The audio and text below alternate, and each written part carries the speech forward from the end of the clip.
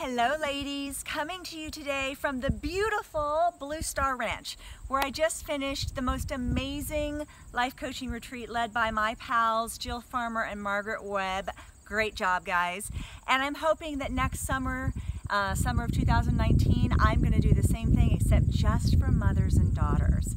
So we're going to do a retreat here because I had the most amazing epiphany that I carry a lot of stories around in my head and I'd like to let a few of them go. And one of them was, I have to be an expert.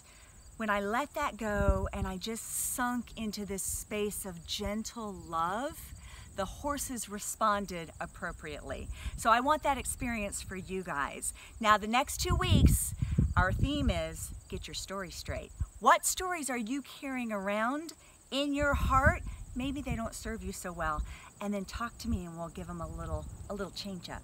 Love you guys. Bye